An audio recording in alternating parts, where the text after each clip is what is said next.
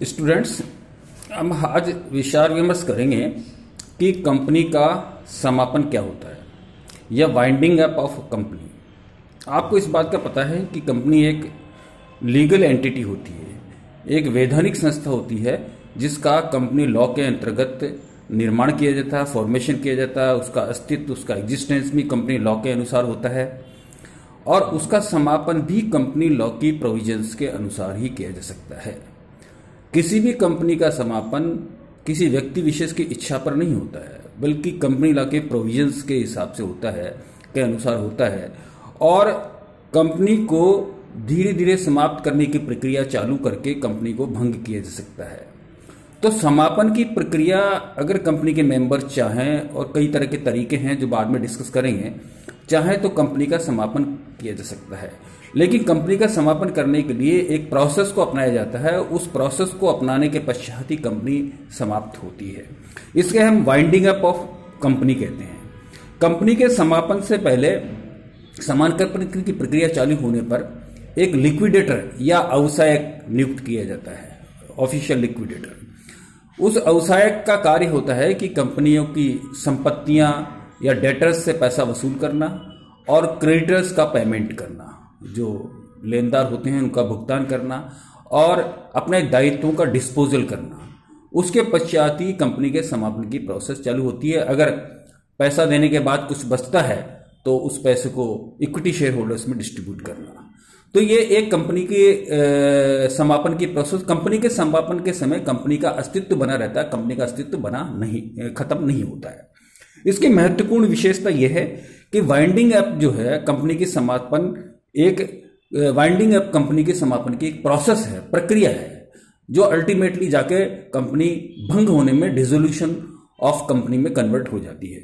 दूसरी महत्वपूर्ण बात यह है कि प्रक्रिया चालू होने के वक्त ऑफिशियल लिक्विडेटर या अवसायक की नियुक्ति की जाती है। तीसरी महत्वपूर्ण बात यह है कि व्यवसायिक का महत्वपूर्ण काम होता है कि डेटर्स से वसूली करना और क्रेडिटर्स को पेमेंट करना और एक्सेस सरप्लस फंड बचता है तो उसका रीडिस्ट्रीब्यूशन करना, उसका तो वो संपत्ति और दायित्वों का निपटारा करने का महत्वपूर्ण कार्य करता है। कंपनी का समापन ये ज़रूरी नहीं है कि कंपनी की दिवालिया हो जब भी किया जाए या दिवालिया पन नहीं है। कंपनी का समापन अपने आप में इंसॉल्वेंसी नहीं है। अगर कंपनी इंसॉल्वेंट नहीं है, तब भी कंपनी के सदस्य चाहे मेंबर चाहे तो उसका समापन कर सकते हैं।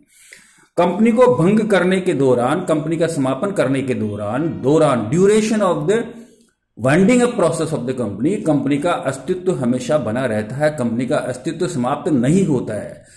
वाइंडिंग अप प्रोसेस में कंपनी का अस्तित्व नहीं होता है। जब वाइंडिंग अप प्रोसेस खत्म हो जाती है, जब डिजोल्यूशन हो जाता है कंपनी भंग हो जाती है, उसके बाद कंपनी का अस्तित्व समाप्त होता है। इसलिए वाइंडिंग अप प्रोसेस के अंदर कोई टैक्सेस वगैरह ड्यू है तो गवर्नमेंट के या किसी अन्य पार्टी के तो इस स्थिति में कंपनी को पे करने पड़ते हैं।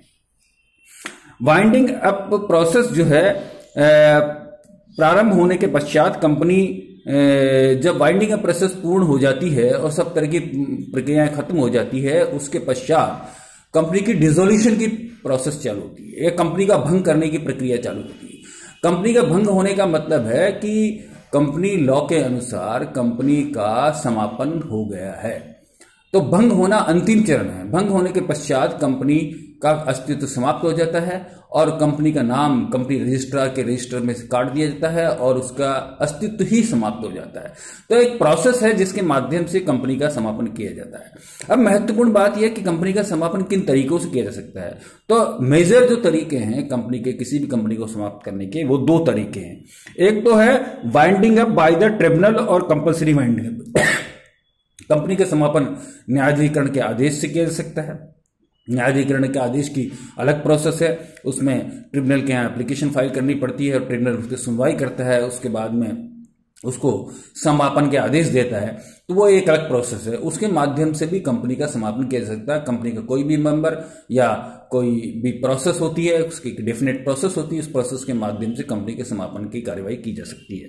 दूसरा महत्वपूर्ण यह है कि न्यायालय द्वारा आगे होकर समापन के आदेश देना और दूसरा है न्यायालय के सामने समापन के लिए पिटिशन फ़ाइल करना।